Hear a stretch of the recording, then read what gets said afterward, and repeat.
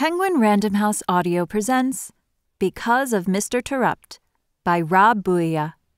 Read for you by Arielle DeLisle and Mike Chamberlain.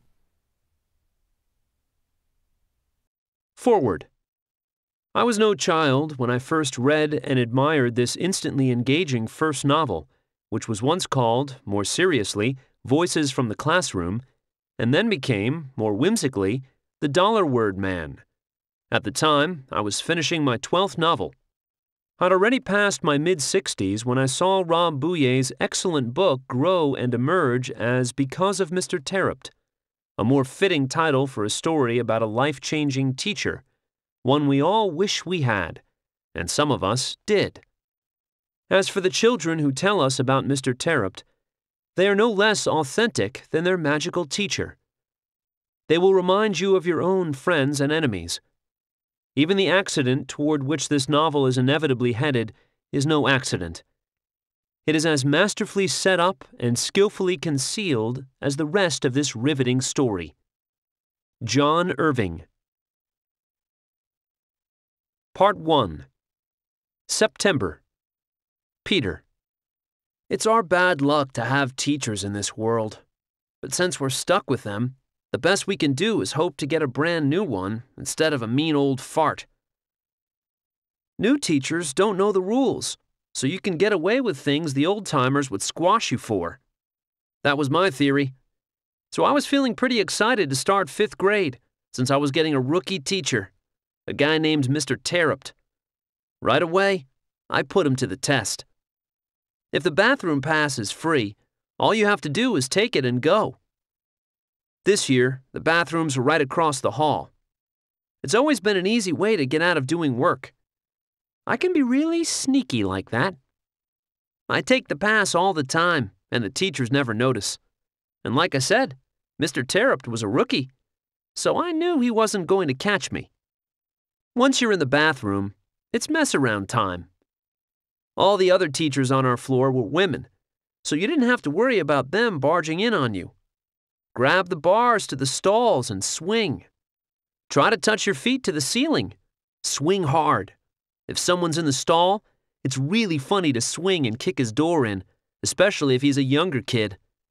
If you scare him bad enough, he might pee on himself a little. That's funny.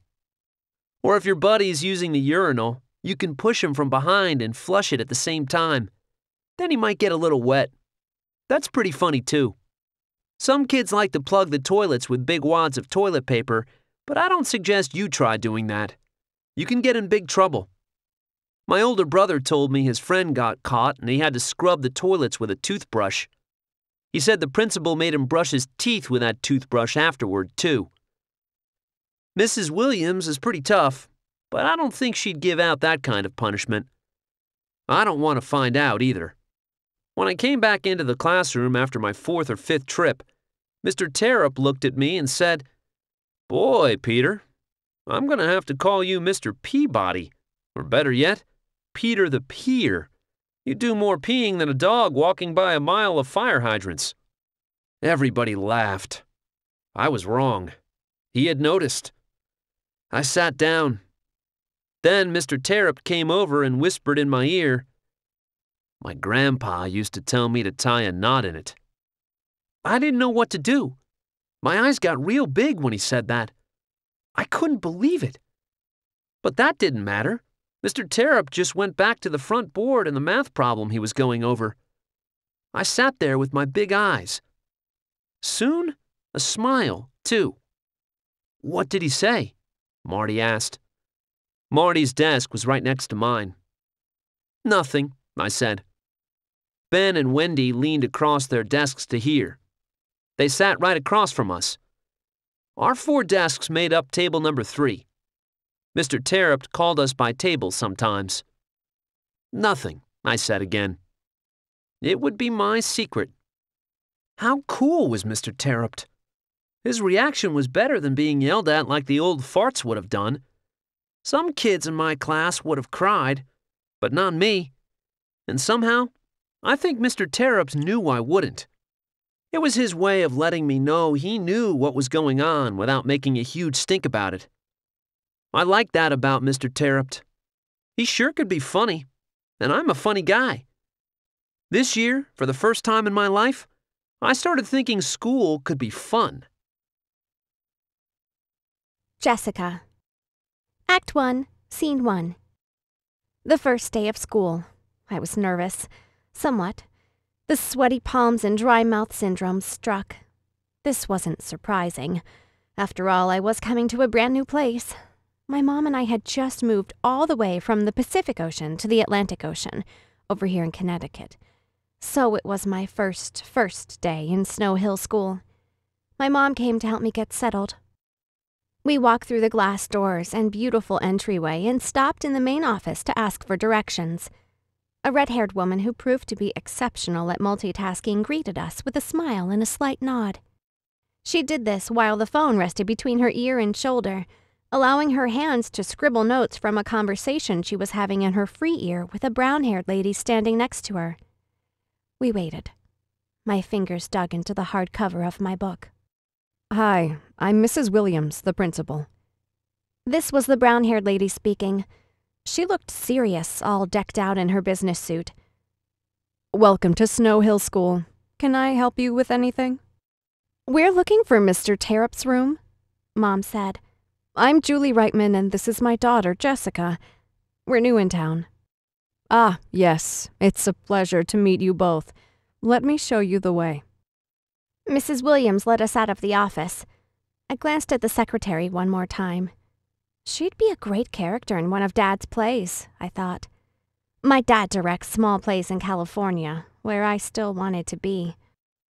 How are you today, Jessica? Mrs. Williams asked.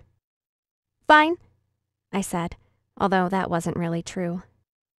We followed Mrs. Williams across the lobby and upstairs in search of my new fifth grade classroom. The hall smelled stuffy but clean, like they'd just been disinfected. I wondered if the custodians had done that on purpose to make a show of how clean their school was.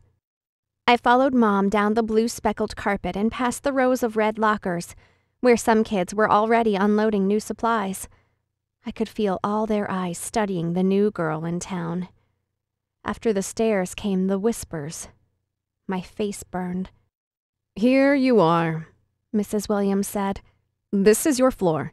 There are four classrooms up here, all fifth grade, two on each side of the hall, with the bathrooms right in the middle. Mrs. Williams pointed as she spoke. That's your classroom. She pointed again. Room 202. Have a good first day. Thank you, Mom said. I just nodded. Act 1, Scene 2. We walked into the classroom. The teacher looked up from his desk and smiled at us. The butterflies in my stomach fluttered as if I were on a tilt-a-whirl. Good morning. I'm Mr. Terupt, the teacher said as Mom and I walked in. He came right over to greet us. Good morning, Mom said back. I'm Julie Reitman, and this is Jessica. I think she's a little nervous being a new student. My tongue felt so swollen that I couldn't talk. I settled on returning Mr. Terupt's smile. It was a friendly one. Well, this is my first day, too. So I guess we'll try to figure things out together, he said. My smile grew. Your seat is right over there at table two. You're with Natalie, Tommy, and Ryan. Being near the windows should give you some good reading light. That's a great book you have there, Jessica. I looked down at my book, A Wrinkle in Time. I rubbed my hand over the cover. I really like happy endings, I said. Me too, Mr. Terupt said. I'll do my best to give you a happy ending this year. I smiled again. I couldn't believe it. My teacher was new, too, and he liked what I was reading. I don't know why, but somehow he made my butterflies disappear and my tongue shrink. Things were going to be okay. Luke. I like school. I'm good at it. I get all A's. So when Mr. Terupt announced our first math project, I was excited. Dollar words were crazy. Definitely not a worksheet problem like all the others I've ever been given. Not even close. We had to assume that the letter A was worth one cent, B two cents, C 3 cents, and so on, making the letter Z worth 26 cents. The challenge was to find words that equaled $1 when you added up their letter values. Not 99 cents or a dollar. We hope you enjoyed this preview. To continue listening to this audiobook on Google Play Books, use the link in the video description.